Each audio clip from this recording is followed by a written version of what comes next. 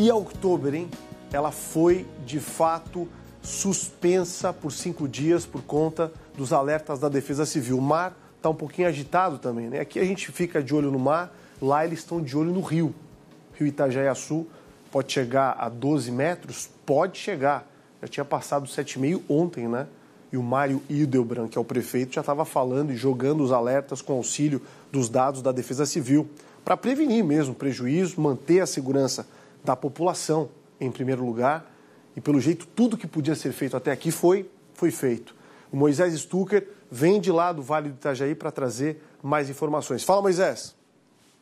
Boa tarde para você, boa tarde a todos que nos acompanham. Defesa Civil e forças de segurança em estado de alerta em Santa Catarina, principalmente aqui na região do Médio e Alto Vale do Itajaí. Cerca de mil pessoas já foram afetadas de alguma maneira, ou por deslizamentos de terra, ou por cheias aqui no nosso estado. Destaque para Rio do Sul. Lá, 800 pessoas estão em abrigos disponibilizados pela prefeitura. O município sofre com mais uma enchente. Falando de Oktoberfest aqui em Blumenau, a tradicional festa alemã que estava acontecendo na cidade foi suspensa após o alerta sobre o risco de enchentes. A decisão aconteceu devido ao alto volume de chuva que atinge toda a região. A expectativa da Defesa Civil de Santa Catarina é que o rio Itajaí-Sul pode subir até 12 metros neste fim de semana. E o Parque Vila Germânica, a cota de inundação do local é de 11 metros. Nós já estamos desde a madrugada, já do final da madrugada de quinta para sexta-feira, desmobilizando os equipamentos, então desde chopeiras, geladeiras, equipamentos de som, começamos a desinstalar telões, algumas outras estruturas, a cenografia toda vai ser recolhida.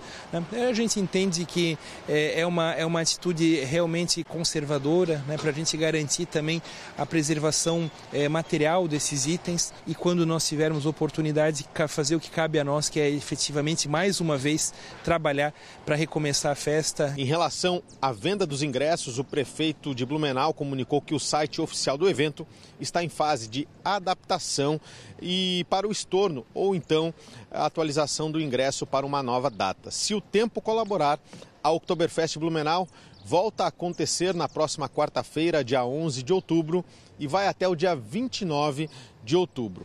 As aulas aqui em Blumenau nessa sexta-feira funcionam normalmente, porém, caso a enchente se confirme, é, a prefeitura pode cancelar as aulas já para a próxima semana. Os hospitais aqui de Blumenau e região já ativaram o plano de contingência caso é, tenha um aumento na demanda por atendimentos devido à possibilidade da enchente.